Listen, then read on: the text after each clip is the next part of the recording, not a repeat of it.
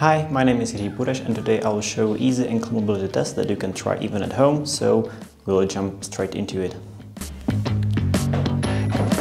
Oh, and before any test, make sure you do a quick warm-up. It can be 5 minute jogging, 5 minute on a bike, but do something to make yourself warm. And by that, your muscles will not be tight because if you do this test without a warm-up, it can cause that you fail the test just because your muscles are tight. So let's continue with a warm-up. The first thing you have to do is to take your shoes off. This ankle mobility test you will need to do barefoot, so without the shoes. When we have our shoes off, we will try to find a wall. It can be any wall you find, but just to be straight.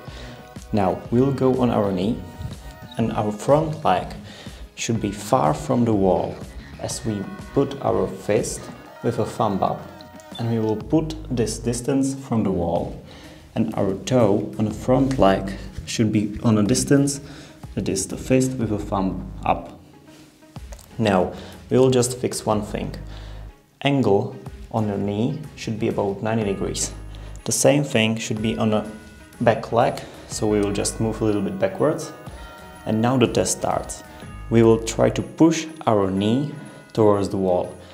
If the test is alright, we will touch with our knee the wall.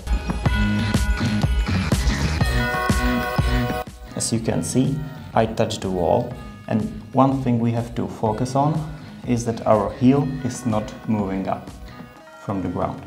If it is, we can firstly try to push it down by our hand.